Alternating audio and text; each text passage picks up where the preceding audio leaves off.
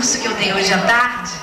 Foi uma coisa mais bonita, foi muito bom a gente ter trabalhado o dia inteiro com a arte de cantar e contar histórias e de noite eu poder agora cantar no show e mostrar como que essas histórias são é, matéria-prima da minha, do meu trabalho de artista e também do meu trabalho de educadora. Eu vou cantar uma canção que eu gosto muito agora, que se chama Mamalu. Mamalu é a história de uma mamãe negra que está amamentando a sua filhinha negra.